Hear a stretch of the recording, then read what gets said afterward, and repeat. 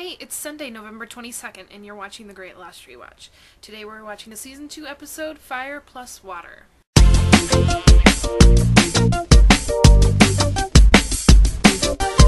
This is a Charlie centric episode, and I'll talk about the stuff that I did like.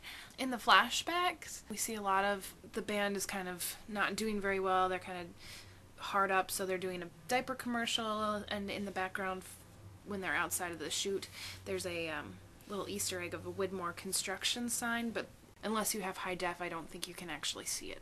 We see what happened to Charlie and Liam's relationship.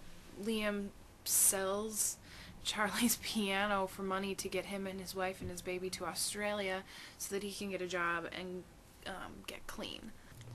We do find out what Charlie's daddy issue is. It's that his father never really encouraged him or really wanted him to pursue music, which is what he was good at, and his mother saw that in him. On the island, Charlie's been having these visions that say that he needs to save Aaron for some reason, and he thinks uh, he talks to Eko about it, and Eko deduces that maybe Aaron needs to be baptized.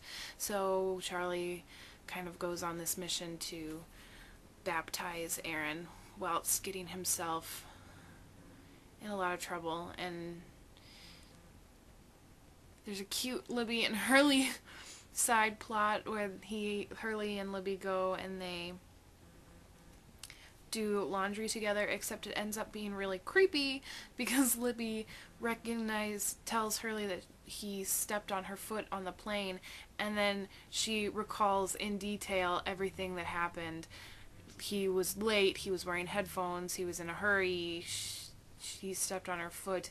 I'm pretty sure she could probably have told him what he was wearing and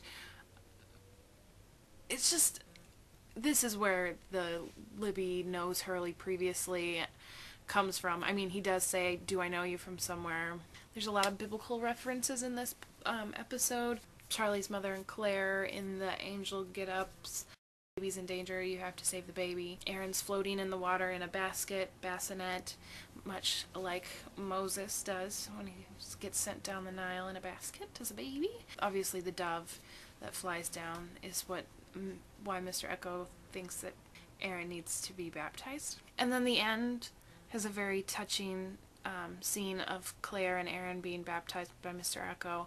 Um, is very beautifully shot. I don't really want to rant, so I'm going to take my cues from SNL and do kind of a really with Liz. Locke, really? You're going to blame somebody, treat them harshly for following visions of the island when you yourself followed visions of the island and got somebody killed? Really? Really? Charlie? Really? You're having visions of needing to baptize a baby, so you set a fire and you steal the baby and you take it down to the water even though you know that everybody's already thinking that you're crazy and on drugs? Really? Really? Claire, you're gonna yell, Somebody took my baby! Again? Really? Really?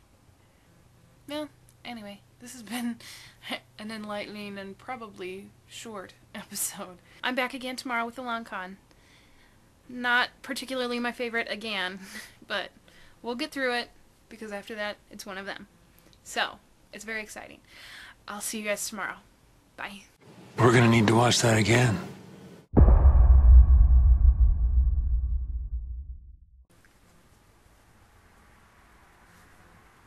Evil Charlie.